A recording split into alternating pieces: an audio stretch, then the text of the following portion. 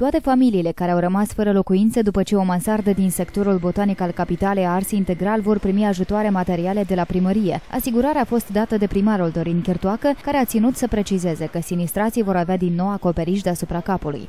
Este un caz în totalitate ieșit din comun, nici nu se discută. Este primul caz de acest gen în istoria uh, cel puțin uh, a serviciului situații excepționale, din ceea ce ne-au uh, confirmat și pompierii. Când un etaj întreg, 30 de familii se rămână fără acoperiș deasupra capului. Treptat, pe măsură ce, ne vom, uh, ce se va avansa în subiect, va fi și răspunsul final cu privire la cât anume pentru fiecare familie. Cert este că situația pentru toți locatare care au rămas fără acoperiș deasupra capului, pentru toate aceste 30 de familii, va fi remediată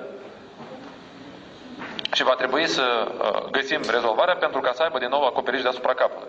Edilul a explicat că autoritățile publice locale nu dețin apartamente care să poată fi acordate oamenilor în asemenea situații, dar a specificat că bugetul primăriei va fi rectificat astfel încât familiile care au avut de suferit să poată beneficia de ajutoare fie pentru a-și reconstrui locuințele, fie pentru a-și putea procura altele noi. Totodată, o parte din banii necesari va fi luată din fondul de rezervă al municipalității.